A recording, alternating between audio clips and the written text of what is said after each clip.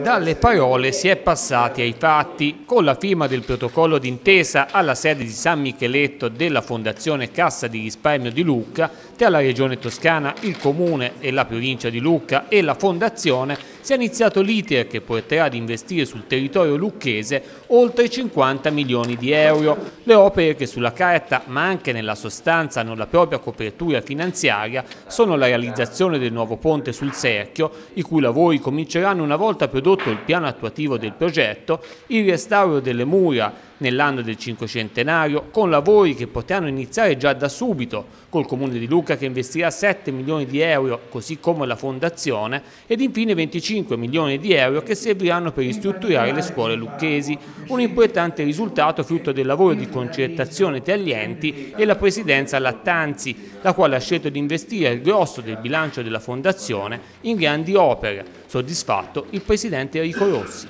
I progetti che ci sono stati proposti ci convincono, mi sembra che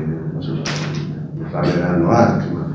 quelli che condividiamo, il restauro delle mura, il ponte costruirsi sul secchio, le scuole, l'età circa, i finanziamenti vanno verso le scuole,